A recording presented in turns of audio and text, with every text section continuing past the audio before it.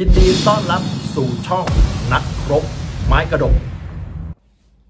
อนาสภาสูง แย่งนะครับยังแย่งชามข้าวกันไม่จบก็ต้องบอกว่าวันนี้นะครับสภาสวหรือว่าสภาสูงนะครับก็มีการแย่งชามข้าวกันอย่างมโหฬารสุดท้ายแล้วนะครับการที่ทำแบบนี้มันทำเพื่อประเทศชาติทำเพื่อประชาชนจริง ๆ หรือทำเพื่อปกป้องผลประโยชน์ของตัวเอง และพวกพ้องต้องการปกป้องพวกพ้องของตัวเองหรือเปล่า ประชาชนก็คงต้องต้องจับตากับเรื่องนี้นะครับ10 กันยายน 257 ที่รัฐสภา ในการประชุมวุฒิสภามีนายมงคลสุรสัจจะประธานวุฒิสภาทำหน้าที่เป็นประธานในการประชุม พิจารณาเรื่องด่วนตั้งคณะกรรมการ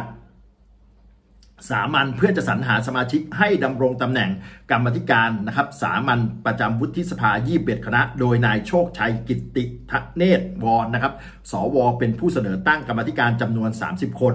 นายประเทืองนะครับมนตรีสวอภิปรายทักท้วงการตั้งกรรมธิการทั้ง 30 คนด้วยอารมณ์ฉุนเฉียวว่า นึกแล้วเหมือนเดิมวนอยู่อย่างนี้ ขอถามว่าอีก 170 คนไม่มีความหมายหรืออย่างไร และกรรมธิการ 30 อรหันนั้นบทบาทหน้าที่ของท่านต้องพูดให้ชัดเจนว่า3คน30 คนนี้จะไปเป็นกรรมประธานกรรมธิการใน 21 คณะกล้าหรือไม่ เพราะหากเป็นก็จะเกิดผลประโยชน์ทับซ้อนตั้งแต่เริ่มนะครับทำหน้าที่มาในวันที่ 23 กรกฎาจนถึงป่านนี้การทำหน้าที่ในตำแหน่งต่างๆ ของวุฒิสภาก็วนอยู่แบบนี้ ด้านนายกมลสุขสมบัติสวกล่าวว่าขอให้ตั้งขอให้การตั้งคณะกรรมธิการคำนึงถึงเจตนารมณ์ของรัฐธรรมนูญจึงขอให้การตั้งกรรมธิการทั้ง 21 คณะยึดโยงกับสวที่มาจาก 20 กลุ่มสาขาอาชีพตามที่รัฐธรรมนูญกำหนด ไม่เช่นนั้นจะตอบคำถามประชาชนไม่ได้ ที่เป็นตัวแทนของประชาชนเข้ามา มาทำหน้าที่วุฒิสภาขอให้ตระหนักอย่างมากๆ ไม่ใช่ร็อบบี้กันอย่างเดียว ว่าจะเอาอย่างนู้นเอาอย่างนี้ ซึ่งจะทำให้การทำงานนั้นลำบาก จึงขอความกรุณาให้ผู้ที่ได้รับคัดเลือกมาเป็นสวตามกลุ่มสาขาอาชีพ ได้รับสิทธิ์ก่อน ส่วนใครจะเป็นประธาน หรือรองประธานกรรมธิการไม่ใช่ประเด็น เพราะในกลุ่มเราก็โหวตกันเอง หากใครมีความสามารถก็ยินดีที่จะสนับสนุน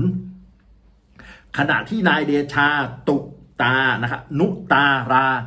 ไรนะครับ สวอภิปรายให้ข้อสังเกตว่าในฐานะที่มาจากกลุ่มสาขาอาชีพทำนาซำสวน อย่าจัดสรรให้ตนไปอยู่ในกรรมธิการที่ไม่ตรงกับสาขาอาชีพ หรืออย่าเอาตนไปไว้กับกรรมธิการทหารนะครับ เพราะห่วงว่าจะคุยกันไม่รู้เรื่อง เพราะเชื่อว่าทหารก็คุยกับตนและและเรื่องทำนาทำสวนไม่รู้เรื่องเช่นเดียวกัน ดังนั้นขออย่าให้ผิดฝาผิดฝั่งทำงานให้กับตรงตัวขอฝากไปถึง